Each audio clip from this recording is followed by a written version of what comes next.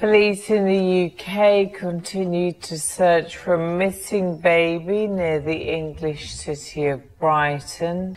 Police in the UK continue to search for a missing baby near the English city of Brighton. The child's parents, Constance Martin and Mark Gordon, are being questioned on suspicion of gross negligence manslaughter.